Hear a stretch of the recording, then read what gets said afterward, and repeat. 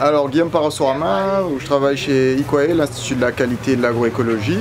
Donc nous on a plusieurs missions. La première c'est d'accompagner les filières euh, agricoles et agroalimentaires à mettre en place des démarches de valorisation, que ce soit des labels officiels de la qualité ou d'autres démarches euh, qui consistent à valoriser les produits sur la qualité liée à l'origine, la qualité supérieure ou encore la qualité euh, liée au mode de production.